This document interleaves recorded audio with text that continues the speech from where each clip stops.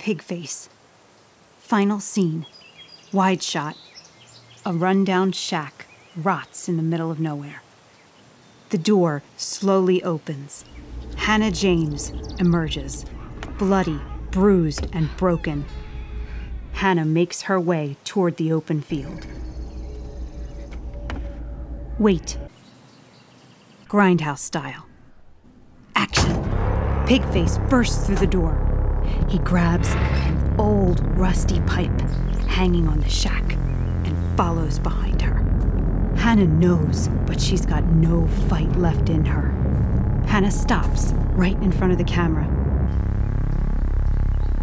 Cut to low angle. Hannah drops into frame. She falls to her knees, conceding to death. Camera pans up to Pigface. He raises the pipe over Hannah's head. Pigface rams the pipe into her skull. He pulls the rusty pipe from her head. A Zoe Hoffman film appears on screen.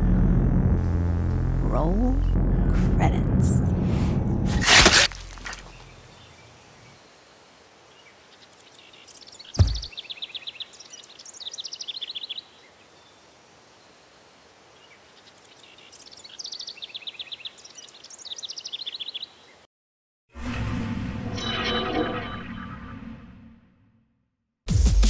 Watch new scary vids every Tuesday, Thursday, and Friday.